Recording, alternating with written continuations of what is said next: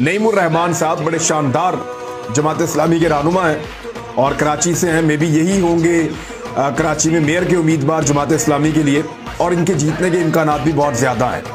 खासतौर पर पाकिस्तान तरीके इंसाफ की कारकर्दगी और एम क्यू एम की धड़ेबंदियों के बाद जमात इस्लामी एक बहुत ताकतवर उम्मीदवार के तौर पर कराची को कंट्रोल करने जा रहे हैं ऐसा लगता है। और जमात इस्लामी के दौर में ही सबसे ज़्यादा कराची में बेहतरीन तरक्याती काम हुए हैं माजी में।